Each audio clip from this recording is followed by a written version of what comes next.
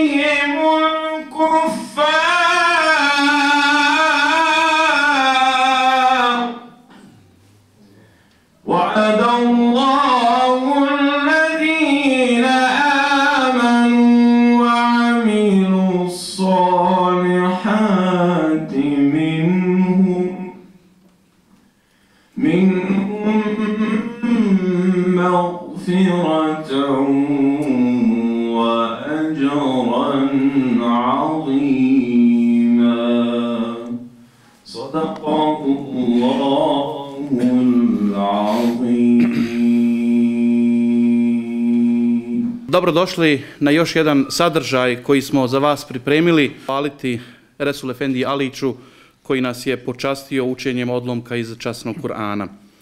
Posebne izraze dobrodošlice upučujemo glavnom imamu Međlisa Islamske zajednice Sarajevo, doktoru Ferid Efendi Dautoviću, zamjeniku glavnog imama Malik Efendi Šljivi i pomoćniku glavnog imama Elvedin Efendi Klisuri, brojnim sarajevskim imamima, kao i svima vama, dragi posjetioci, koji ste odlučili ovu noć biti sa nama iz ljubavi prema poslaniku Muhammedu alihi selam. članovi Hora Međunarodne islamske zajednice Sarajevo, uvaženi profesor uh, Ismet Ušatlić, Assalamu alaikum. Drago mi je da ste večera zajedno sa nama u ovom našem uh, programu manifestacije Salam Jara Sulala koju pripremamo evo 13. godinu zajedno. Ona je izraz ljubavi prema poslaniku Muhammedu sallallahu alaihi wa sallam I zato ste i vi večeras ovdje iz te ljubavi prema poslaniku. Ja ću ispričati samo uh, dva ili tri primjera iz života poslanika Muhammeda i Selam i ljubavi prema poslaniku koji su pokazivali njegovi ashabi. Uh, jedan od primjera je Ebu Leheb koji nije, nije uzvjerovao, iako mu je bio Amidžan, nije povjerovao u poslanstvo Muhammeda i Selam.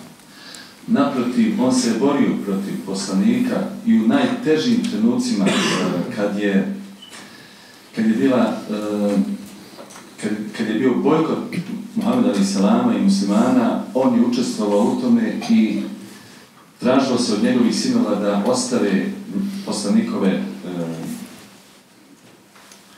e, poslanikove čerke da mu bude još teže.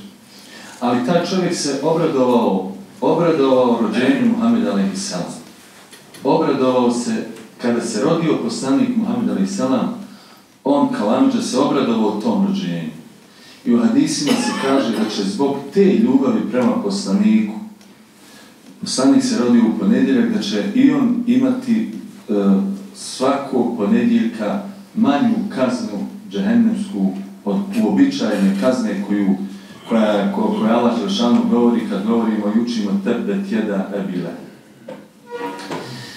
E, znamo za Muaz ibn Džabela koji je volio poslanika i kog je, pos, u kog je poslanik imao posebno e, povjerenje.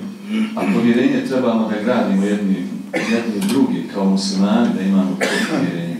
Poslanik je imao veliko povjerenje u Muaz ibn Džabela i kad ga je poslao u Jemen, evo slušamo stalno o što se dešava u Jemenu, e, tako ga je pratio, svaki put ga je pratio do kraja Medini, kada bi ga pratio u, u, u e, Jemen.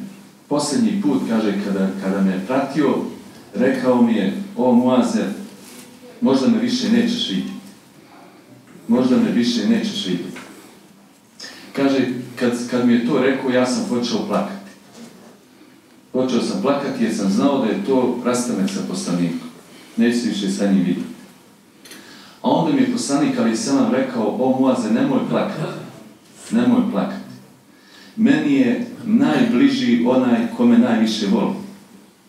Svejedno, gdje živiju, koliko daleko vremenski, koliko prostorno daleko od mene živio, meni je on najdraži.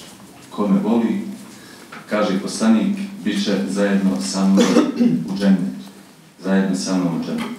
I završit ću sa onim što sigurno većina vas zna, da je Hazreti Omer radijallahu anhu, koji je bio stalno uz poslanika, pomagao ga na sve moguće načine, i moralno, i materijalno, i bio uz njega u svakom trenutku. I znate kada je Hazreti Omer primio islam kao 40. musliman, da su, da su muslimani dobili tad novu snagu, u, u, u smislu zaštite. A kada je preselio Muhammed Ali Selam, on nije mogao vjerovati da je poslanik preselio. On nije mogao vjerovati da je poslanik preselio. I iz, iz te velike ljubavi je kazao, ko mi kaže da je poslanik preselio, ja ću skratiti za glavu. Dok, ga, dok, ha, ha, dok nije došao Ebu Bekra, dijela Han, koji isto tako bio uz poslanika i ova dvojica zajedno sa njim posle halife, dok ga nije on smirio i kazao mu i proučio kuranski ajte Lama Muhammedu Mila Rasul, on, on se tek tad smirio i shvatio da je poslanik alaih salam preselio. Mi smo iz te velike ljubavi prema poslaniku alaih salam ovdje, e, ako hoćete, stradali bili sretni naravno i zadovoljni zbog te ljubavi, ali i stradali zbog toga. I, I dalje, ne znamo, zbog te ljubavi i identifikacije prema posa, sa poslanikom, stalno smo u nekom e, iskušenju, hoćemo li opstati, hoćemo li sačuvati ovdje na, na ovoj bosanskoj zemlji, e, vjeru Allaha dragog i ljubav prema poslaniku Muhammedu Alisam. Tu veliku ili najveću ljubav prema poslaniku u pjesničkom smislu e, pokazivali su naši autori na Dakle, to je naj, najbolji pjesnički izraz ljubavi prema poslaniku. Vidite, mi govorimo ovako o ljubavi, prenosimo ove e, događaje koji su bili vezani za poslanika, ali Melud je najjasniji iskaz, pjesnički iskaz e, ljubavi prema poslaniku Muhammedu a.s. koji ima u sebi tu, osjećate ljubav koju, koju iz tih tekstova, kao i povijesno život, životopis Muhammed a.s. u, u, u, u Mevludu. Zato ćemo večeras evo e, slušati o, o Mevludima, e, kako će nam kazivati e, profesor Isun Šatić. Mi smo na prijedlog profesora doktora uh, Enesa Kača, akademika, uh, upriličili ovakav jedan, jedan, uh, jednu temu ovakvu, jer je on inicirao u, našom, u našem uh, organizacijalnom odboru koji smo imali, inicirao je ovakvu temu. Mi smo je prihvatili da se govori malo, da, da i baš je kazao da o tome može najbolje govoriti profesor Ismen Bušatlić, da nam predstavi te naše autore Mevluda i da malo slušate Mevluda, e, iz tih Mevluda ono što će učiti večeras ovaj prelijepi hor koji se večeras ovako lijepo sredio i, i zaslužuje i ova večer da budu ovako lijepi i ljubav prema poslaniku ovako da budu lijepi. Salam. Poštovani gosti, začeci Mevluda pjesme u pohvali Muhammed alihi selam mogu se pronaći još kod ashaba drugova Allahovog poslanika. Iako ashabi nisu pisali stihove o rođenju Muhammeda alihi selam, oni su opjevavali njegove savršene moralne osobine. I ipak je u njihovim stihovima utemeljen poseban žanr, pos, poseban žanr pobožne poezije u čijem središtu se nalazio Muhammed alihi selam. Svoj vrhunac ova poezija doživjela je sa Kaside i Burdom, koja je nesumnjivo inspirisala kasnije pisce Mevluda, pogotovo ako se zna da Mevlud u svojoj konačnici nije ništa drugo do pjesma o savršenstvu i ljepoti Muhammeda a.s. U tom smislu, indikativno je predanje koje se vezuje za Sulejmana Čelebiju i njegov čuveni Mevlud Vesiletu Neđat, koji će kasnije postati najpoznatiji i najpopularniji Mevlud u Bosni i Hercegovini. Našu večerašnju priču o Mevludu počinjemo upravo turskim mevludom imama iz Burse, Sulejmana Čelebija, koji će nam izvesti Salih Efendija Meštrovac. Ruhi pa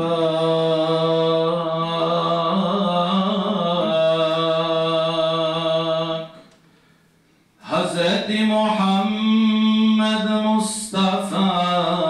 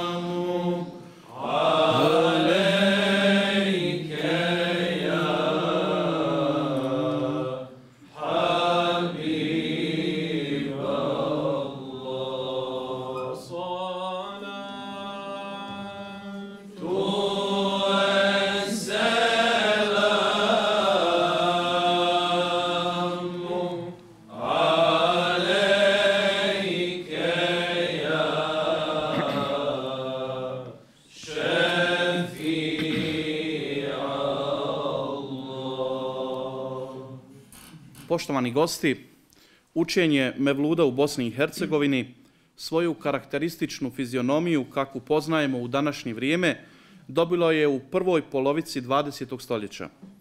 Gaševićev prijevod Mevluda Sulejmana Čelebije na bosanski jezik uz prvi originalni bosansko-hercegovački Mevlud doktora Bašagića postali su do polovine 20. stoljeća sastavnim dijelom gotovo svih mevludskih svečanosti. Svakako više o samim početcima Mevluda kod nas i u svijetu reći će nam i naš večerašnji predavač, uvaženi profesor dr. Ismet Bušatlić, koji će nas večeras voditi putevima Mevluda. Profesor, izvolite. Bogu dragom vas da šučur na islam, a salavat pejgamberu i selam. I doz, dozvolite da ne razdvajam vas večeras ni po kom osnovu, ni po pozicijama, ni po zanimanjima, da vas poselamim sviju zajedno iz srca kao umet milosnika Božjega. I da počnem odmah i sa jednom kratkom mevludskom lijepom dovom da je Božji rahmet na nas svakoga. Priča o Mevludu je priča o našoj ljubavi prema Allahovom poslaniku. A ona je stara koliko je Islam u Bosni. Nas niko nije tjerao da prihvatimo Islam. Prihvatili smo ga otvorena srca, s ljubavlju, čvrsto i to smatrali Božim darom, Božim hidajetom. I na različite načine pokazivali da vjeru ispravno slijedimo, da je naša praksa potpuna i ispravna, da je naša ljubav prema Allahovom poslaniku bezgranična, trajna. Priča o Mevludu je priča o bošnjačkoj ljubavi prema Resulullahu. Ona je starija, neka mi Edin do, dozvoli da ja kao stariji tražim korijene dalje. Njegova priča stoji. Ali ja ne bi bio ja kad ne bi probao kopati dalje.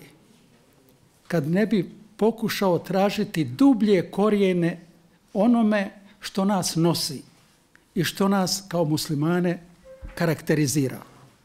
A počelo je davno. Naime, sve ono što je islamsko, mi smo tretirali kao svoje. I Mevlut Sulejmane Čelebi je samo ispisan na turskom jeziku, a nije turski. Naš je. I poljski muslimani su ga učili. I oni kažu da je njihov. Naime, jer sve što je u tome Mevludu, nama je srcu blisko. Svijesti, pameti našoj blisko. Iz toga je taj Mevlud podjednako naš i ne pitamo se koga je napisao. Da bi ljubav koju mi sprem poslanika imamo, gajimo i svakodnevno u svome životu manifestiramo, dobivala i neki uređeni institucionalni okvir i smisao. Muslimani su uvijek ljudi od reda. Jer već džemat pet puta dnevno zna se i ko predvodi i ko asistira. I kako se poreda. Uvijek je to red. Taj saf je u nas prisutan u cjelokupnom islamskom životu. Za sve imamo mjeru. I sve pokušavamo raditi sa, sa mjerom. I kad jedemo, i kad klanjamo, i kad spavamo, i kad radimo. Svoju ljubav prema Allahovom poslaniku bošnjaci su vrlo brzo služujem će reći, vrlo rano institucionalizirali. Učinili su to ljudi koji su imali duhovne vođe, uzao se učitelje, istinske učitelje, a sami su, Allah im je dao, pa im je nafaka bila prosuta po svijetu, bili beričetli nafake i mogli da učine ono što su učinili pa će već u svojoj prvoj vakufnami Gazi Husrevbeg propisati. Neka se za dan 12. Rebiul Evvela u mojoj džamiji koju sam sagradio u Sarajevu prouči Mevlud. I neka se za to potroši 300 akči. I u toj vakufnami ima još jedan karakterističan detalj. Naime, kako je Mevlud specifičan sadržaj i kako se kazuje Mevlud na specifičan način, on se ne priča, on se ne pjeva, Mevlud se uči. Zato treba osoba koja ima dara i koja ima znanja. Kako će šta reći i kako će šta proučiti. Stoga, Gazi Husarvbek, što je mudrost, nije rekao da Mevlud u njegovoj džami uči ni imam, ni hatib, ni mu je zini. Ostavio je to posebnoj osobi koja može, sam je naglasio, može biti stranac. Možemo učača Mevluda dovesti sa strane i zato je ostavio 300 akči. U drugim vakufnamama, bosanskim, imamo i nekih drugih detalja. Naravno, kako je nekoliko hiljada, deset, čak desetine hiljada vakufnama napisano u Bosni i Hercegovini od kad je Islam ovdje, koji su regulirale naš vjerski život i rad pojedinih institucija, za jednu večer ih ne možemo ni pobrojati. I ja ću samo neke karakteristične primjere uzeti. Tako će Ferhat Paša Sokolović u svojoj vakufnami ispisati e, čitavu jednu sentencu u kojoj će mnogo šta kazati, jer je vakufnamu njegovo ispisivao očito dobar stilista, ispisat će mnogo šta i reći mnogo šta o Allahovom poslaniku. A tek onda reći da se na sretni dan njegovog rođenja, 12. Rebul, e, Rebul Evel, u njegovoj džamiji, u njegovoj Banja Luci, prouči Mevlud i opet će reći da to učini osoba koja zna melodiju melu, Mevluda, koja zna sadržaje Mevluda i da to nije svrha jezika što bi mi rekli. Da je to eh, svrha tog učenja razvijanje pobožnosti kod ljudi. Nas je Mevlud na specifičan način odgajao, na specifičan način oblikovao, na duhovno, idejno, na specifičan način upučivao i na specifičan način informirao o liku i dijelu posljednjeg Allahovog poslanika, Muhammed za sallahu tala alihi veselem. Stoga u Bosni i Hercegovini priča o Mevludu počinje sa dolaskom Islama, ona se samo razvijala u jednu, jednu raskošnu paletu koju će pratiti adekvatni sadržaji i gdje će se bošnjaci nadmetati kako sprem poslanika svoju ljubav najpotpunije, najljepše iskazati. Ulema je to činila na svoj način. Prepisujući kitabe, jer kako u islamu znanje nema granica, može se tražiti svugdje i od svakoga, prepisujemo učena, učena dijela, prevodimo učena dijela, a onda i sami Bošnjak je uvijek imao šta kazati i mogao se pokazati. I pokazali smo se i kada je riječ o poslaniku. Sinošnje predavanje je jedna takva demonstracija, manifestacija kako o poslaniku puno znamo i kako znamo lijepo da o njemu pričamo. Večeras u jednoj, ne želeći ponavljati predavanje, predavanje, ne predavanje, ne ide, ali ide jedna drugčija priča koja će nas provesti kroz mevlude, kako su nastajali u Bosni, kako su i bošnjaci prihvatili, ko ih je pisao, ko su ti ljudi bili i kako je Mevlud zaživio kao sunne i hasene kod nas. Jedna lijepa tradicija koju su u pojedinim vremenima pojedine osobe iz različitih razloga pokušavale na izvjestan način dovesti u pitanje. No, kako mi znamo da je utemeljiti lijep običaj, lijepu tradiciju, vrijedno i da ta vrijednost nama pripada sve dokle ta tradicija teče. A evo Mevluska teče stoljećima kod nas i teći će inša Allah dokle je nas.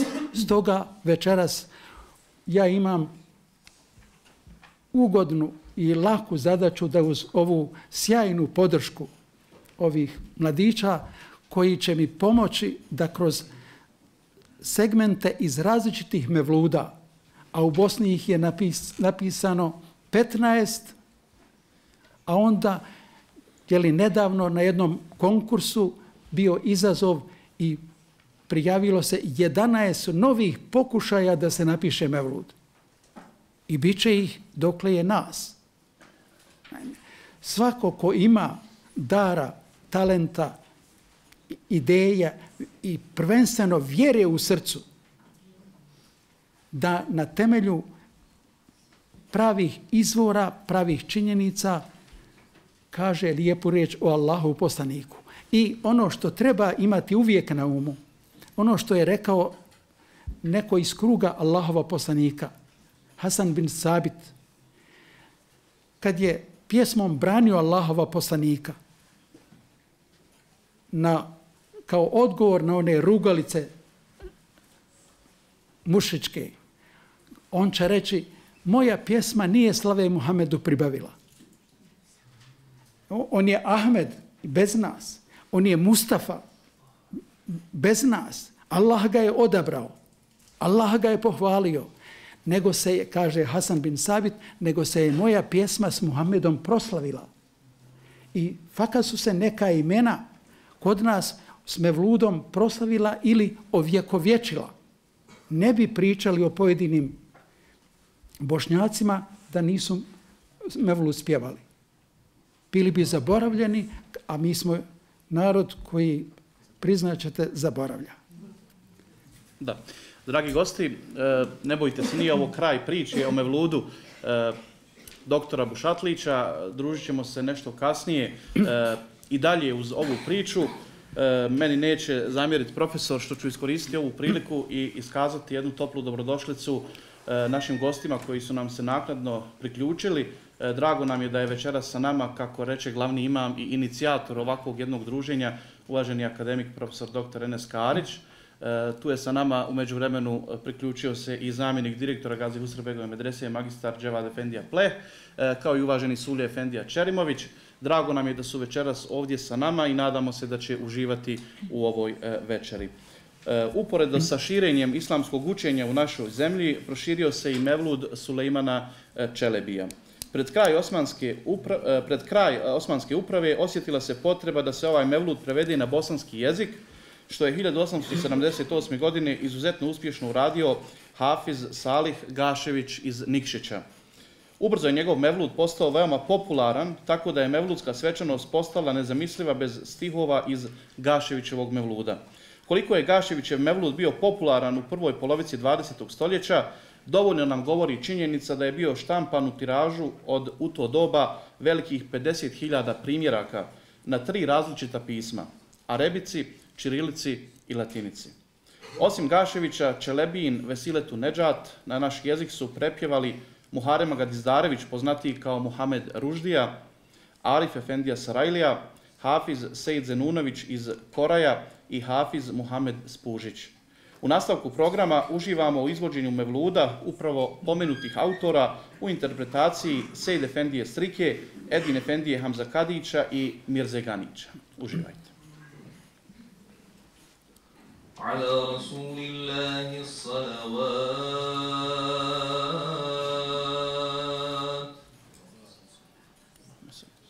Bogu drago vas da šukur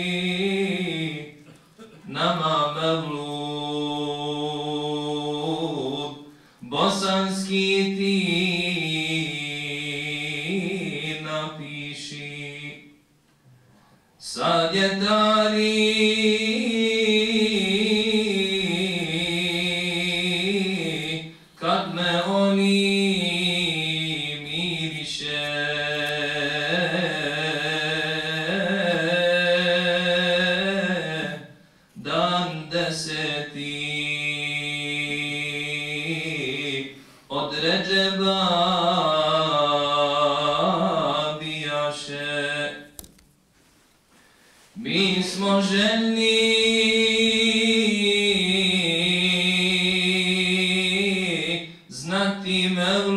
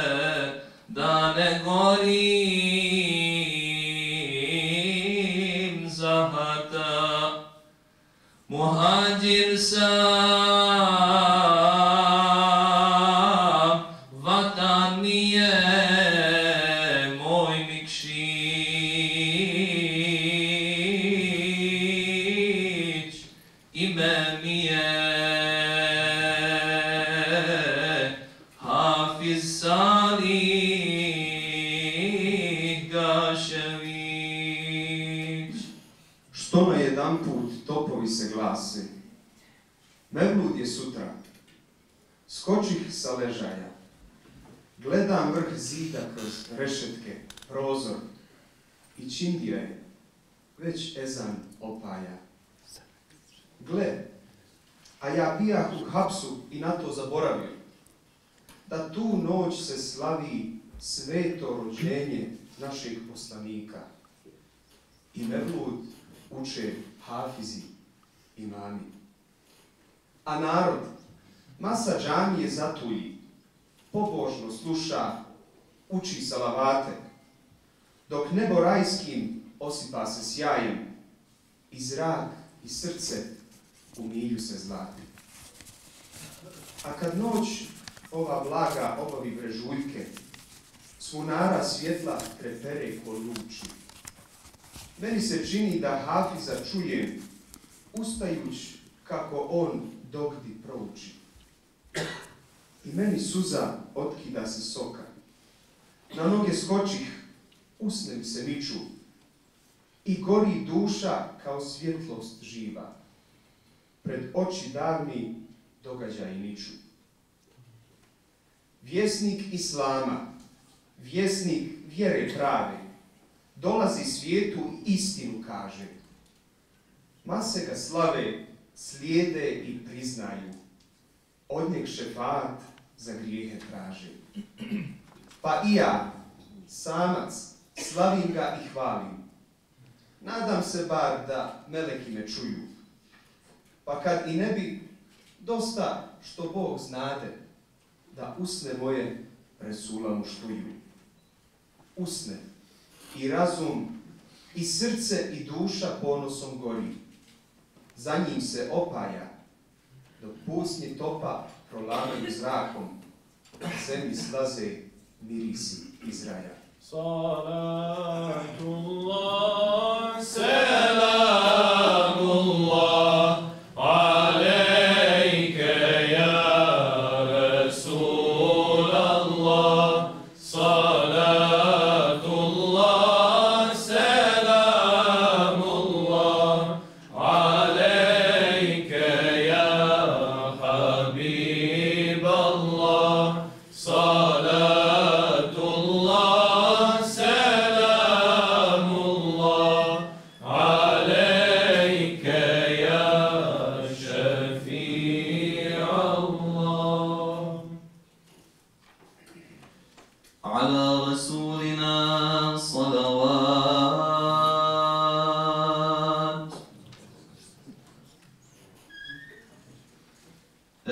Evo najpre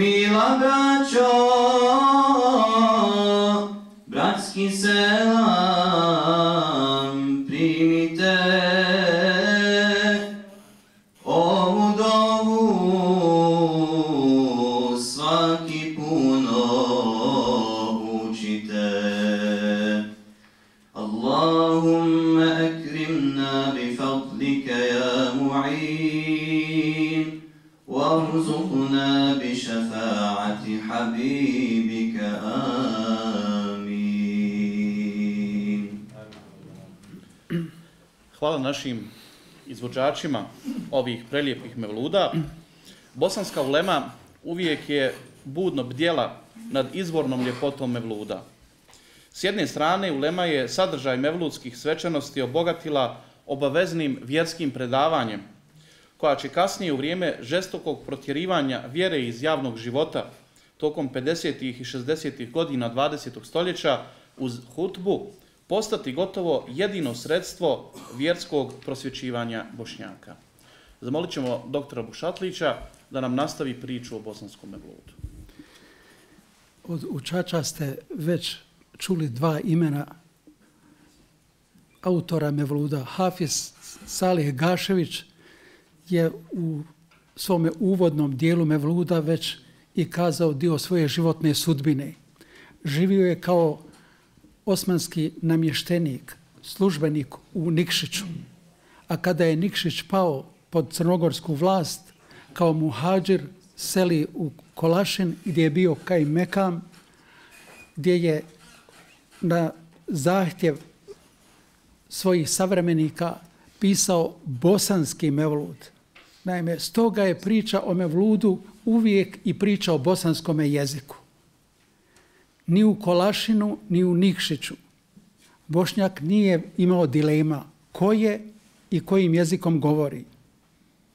I to nije jučerašnja priča. To nije politička, politički slogan. To je povijest pisana iz srca.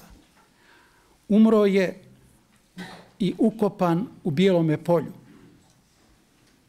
Na nišanu njegovom na, na samom početku, što nije uobičajeno na, na nišanima, prvo je napisan hadis.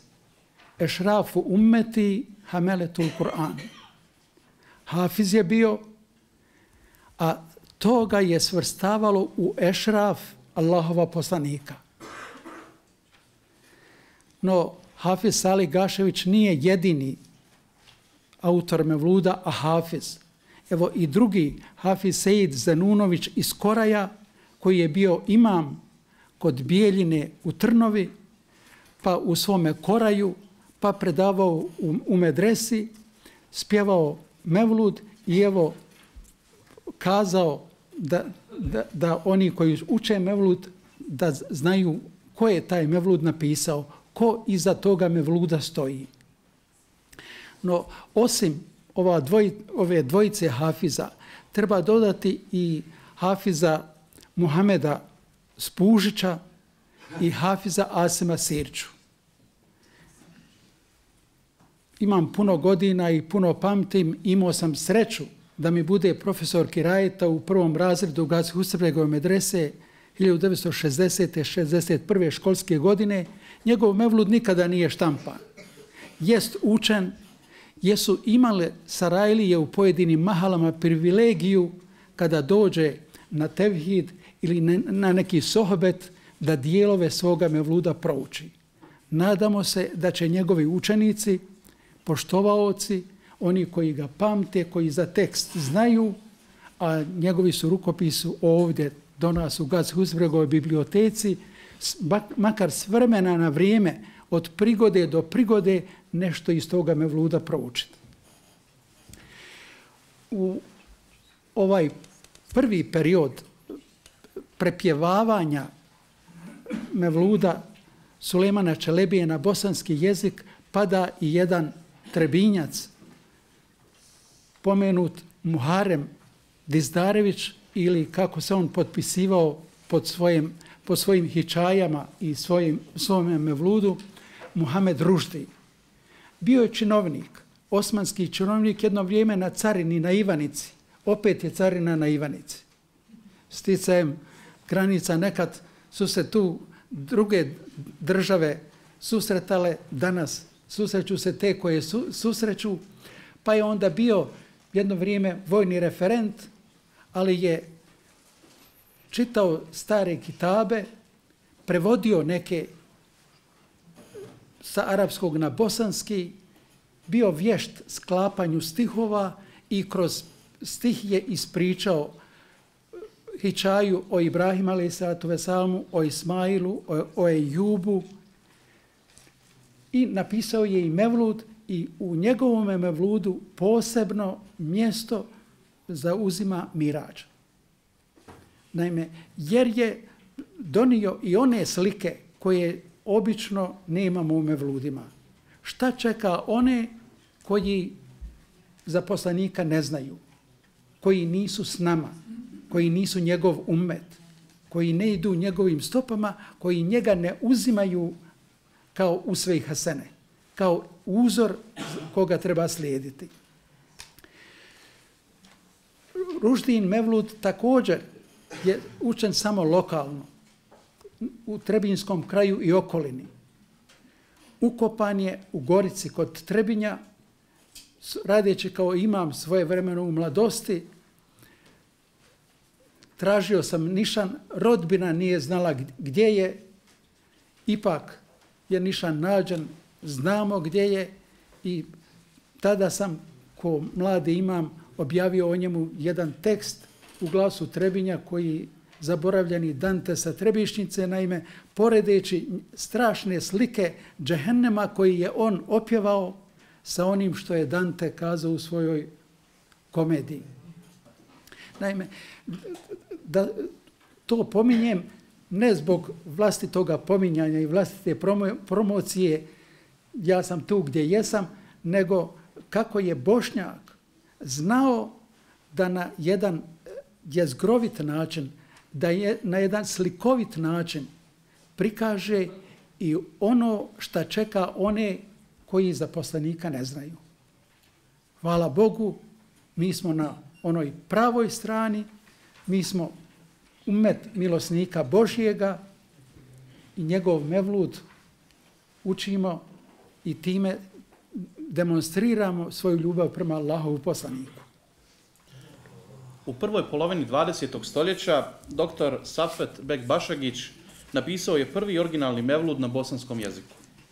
Njegov mevlud premjerno je izveden u šarijatskoj gimnaziji u Sarajevu 1924. godine. Tom svečanom činu prisustvovao je i Bašagić lično. Te 1924. dr. Bašagić je štampao prvo izdanje svoga Mevluda, a nekoliko mjeseci kasnije i drugo izdanje, u koje je po savjetu nekih prijatelja uključio i Mirađ. U nastavku uživamo u interpretaciji Salih Efendije Meštrovca, Ensara Latifovića, Mirze Ganića i Resul Efendije Alića. على رسولنا محمد صلوات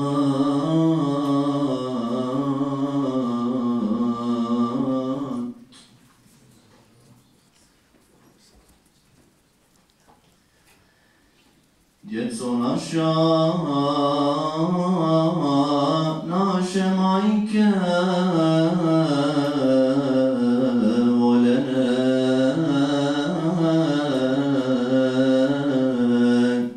Bracio, sestre,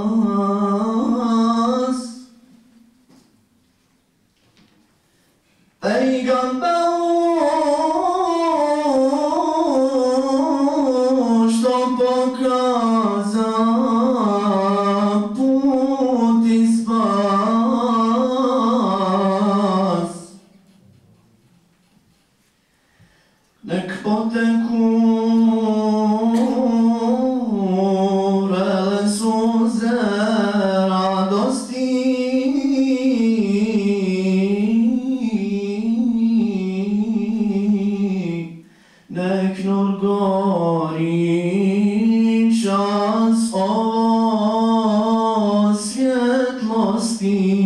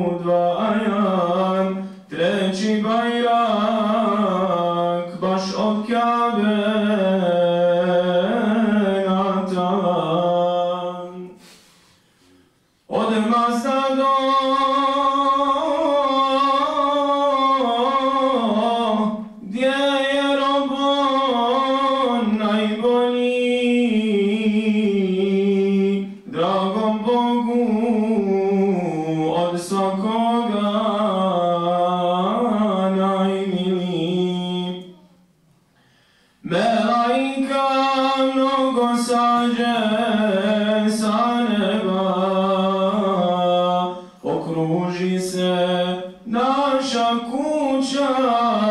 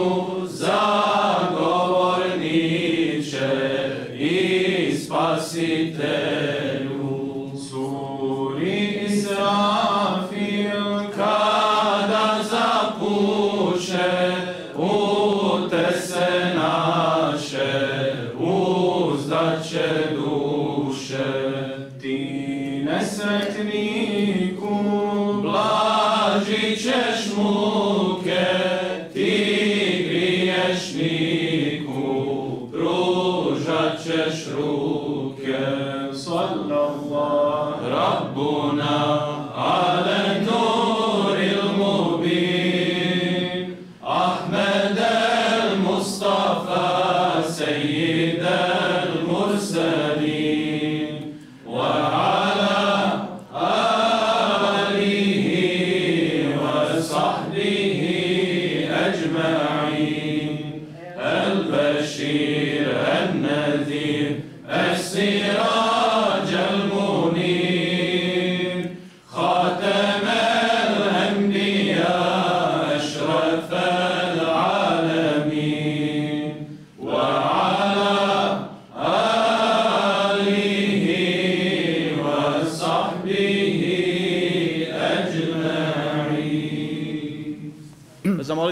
doktora Bušatlića da nam na neki način zaokruži ovu priču o bosanskom evlodu. Prije toga dozvolite mi jedno pitanje. Kada se na nebu iznad Bosne munja sjevne, šta bošnjak i bošnjakinja prouče? Salavat. Kada se izgovori ime Božijeg poslanika Muhammeda, šta bošnjak i bošnjakinja izgovore? šta klanjamo svaki dan na sabahu prije farza, na podne prije i posle farza, na ikindiji prije farza, na akšamu posle farza, na jaciji prije i posle farza. Nije li to dovoljan, dovoljan pokazatelj koliko bošnjak i bošnjakinja Allahova poslanika vole? alamet na nebu, riječ na zemlji, ibadet uzvišenom Allahu, bošnjaka i bošnjakinje svjedoče o toj ljubavi. Trajnoj, bezgraničnoj. Ona nije bezrazložna. Allahov poslanik se za svoj ummet brinuo do, i u posljednjim trenucima svoga života na oprosnom hađu to pokazao. Očekujemo da nam šefačija bude i na sudnjemu danu. Mevludi naši i ove detalje iz poslanikova života su opjevali. Dodajmo pomenutim autorima Hafizima i Muhamedu Ruždiji književnike koji su svoje najsnažnije poeme ispisali govoreći o Allahovom poslaniku. Inspirisani njegovim likom, njegovim dijelom, njegovom misijom. Učinio, učinio je to Bašagić, učinio je to Musa Čazim Čatić, učinio je to Osman Džikić, učinio je to kasnije Rešad Kadić, svako od njih je na svoj način htio da svoju ljubav prema poslaniku iskaže mevludom. Neko zadržavajući se samo na opisu mevluda, drugi dodajući tome mirađ, treći dodajući objavu, dodajući hijđru, dodajući hađ, oprosni hađ, dodajući smrt, da bi priča bila cjelovita. Svoju ljubav bošnjaci su prenosili i na porodicu Allahova poslanika. Ideal je u Bosni da naša majka bude Hatidža svoga vremena. Ideal je svakih roditelja da njihova kćerka bude Fatima svih vremena. Bošnjaci su prolili suze za Hazreti Huseinom i Mersija tužaljki spjevali koliko i šije, a nismo šije. Jer imamo granicu. Znamo šta je nama unuk poslanikov. I to zna, poznavanje granice drži nas da od lika Allahova poslanika ne pravimo idola. Abduhu ve resuluhu. Hvala vam, profesore. Naravno, kraj ove večeri pripada također horu Međusa Islamske zajednice Sarajeva. سيد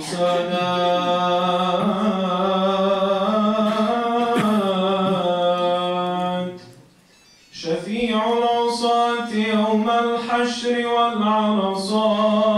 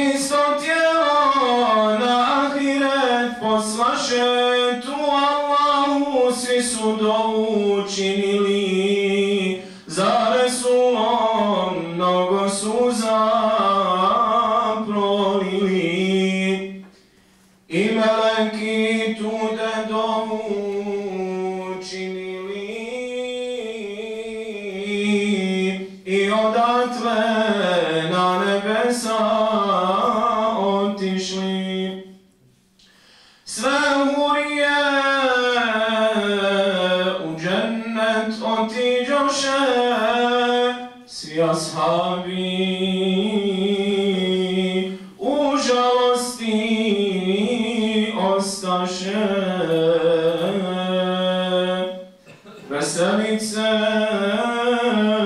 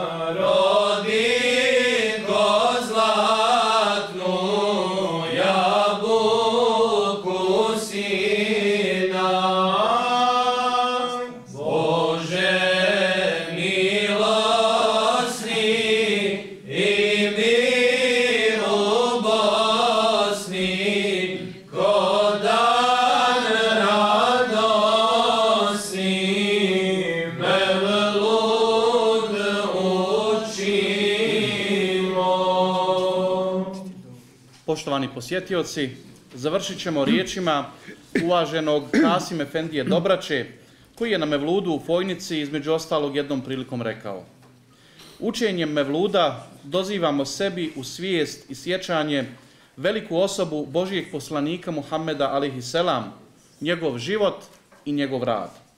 Tako u svojoj svijesti oživljavamo lijepu sliku alihi selamove časne osobe i s tim donekle nadomještamo okolnost što nema da smo mogućnosti ni sreće da ga osobno, osobno posjetimo i vidimo. Učenjem Mevluda mi u neku ruku činimo duhovnu misalnu posjetu Božijem poslaniku i onom vremenu kada je on živio i radio.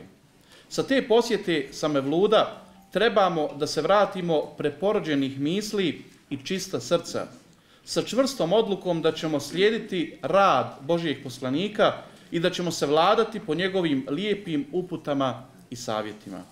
To zapravo znači učiti i razumjeti Mevludu. Dragi posjetioci i poštovani gosti, nadamo se da ste uživali u našoj priči o bosanskom Mevludu. Ovom prilikom na samom kraju glavni imam Međlisa Islamske zajednice Sarajevo, dr. Ferid Efendija Dautović, dodijelit će prigodnu zahvalnicu i poklon našem večerašnjem predavaču, dr. Ismetu Bušatliću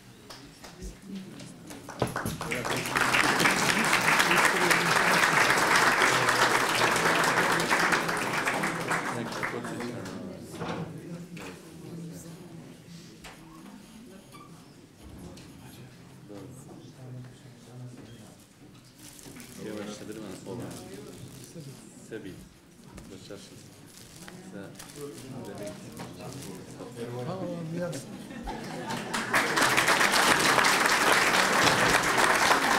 Hvala vam na vašem strpljenju i vašoj posjeti.